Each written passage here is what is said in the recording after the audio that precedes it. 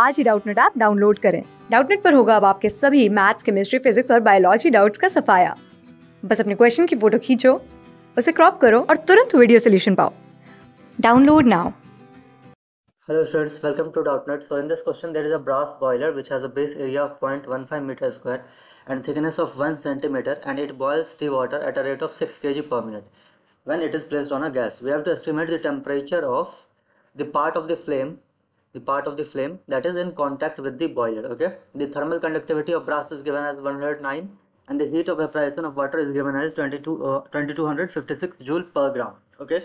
So we know that in this condition there will be a heat current flowing from this uh, burner to the water okay? And we know let's say the temperature of the burner part let's say this be t2 okay? And we know that water boils at 100 degree centigrade so the t1 that is the temperature of the water uh, will be 100 degree centigrade.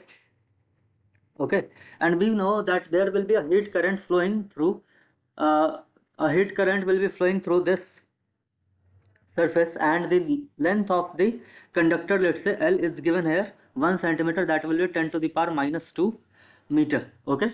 And the area the base area of this the base area of this pan is given as 0.15 meter square okay. So we can say area is area is 0.15 meter square. We know that in this case there will be a heat current that will be defined as del q upon del t will be equal to K that is heat conductivity into area A into delta T that is T2 minus T1 and this will be divided with the length of the conductor that is L. We know that okay? And per minute 6 kg of water is boiling okay? So per minute the requirement of heat will be that is we can say heat required per minute will be we can say heat required per minute required per minute will be equal to what? That will be the amount of heat required to convert 6 kg of water into vapor. That is 6 kg.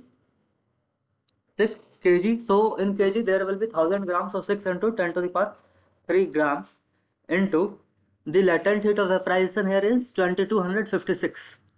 2256 joule. So this much amount of heat is required per minute okay we'll evaluate it later and we know for, from this equation from the equation let's say this as first from equation first we can derive the equation for delta t uh, delta q actually from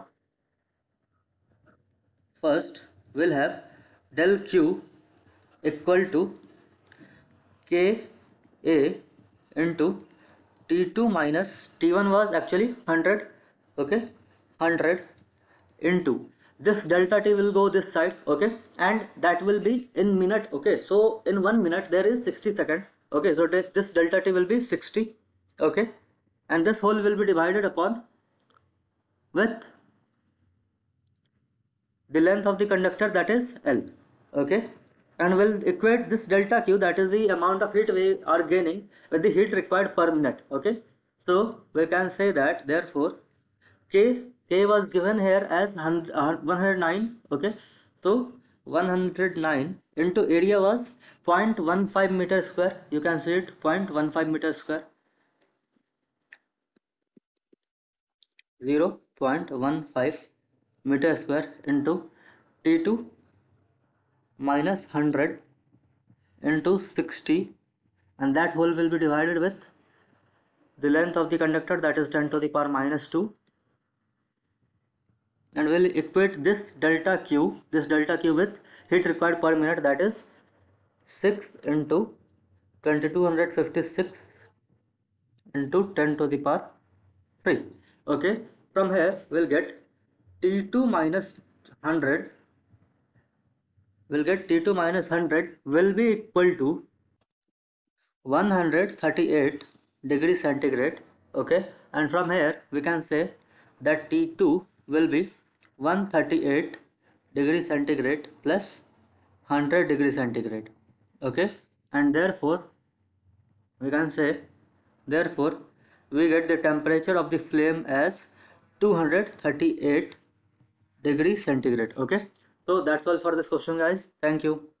Class six से twelfth से लेके NEET I I T JEE mains और advance के level तक। दस million से ज़्यादा students का भरोसा।